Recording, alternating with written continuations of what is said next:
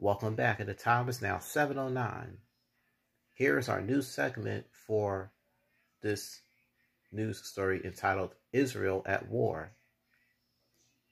Gaza is to blame because they can't seem to keep peace with Israel. My sister, Jasmine Payoute, at the CBS News Philadelphia station, is joining us live with that story. Good morning to you, Jasmine.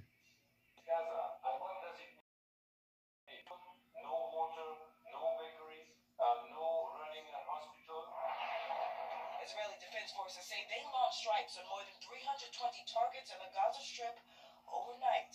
They also continue to exchange fire with Iran-backed Hezbollah fighters near the northern border shared with Lebanon. The fighting there fanning fears that the conflict could expand. A bipartisan group of U.S. senators in Tel Aviv issued this warning to Tehran. If this war grows, it's coming to your backyard. Prime Minister Netanyahu visited with troops near the Lebanese border Sunday, telling them that if Hezbollah joins the war, it would be, quote, the worst mistake of its life.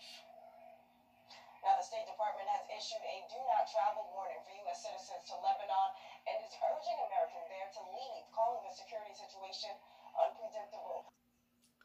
All right, thank you, Jasmine, for that update. Coming up on CBS News Philadelphia, some delays with Spirit Airlines. Plus, the latest also on the rest of our top stories.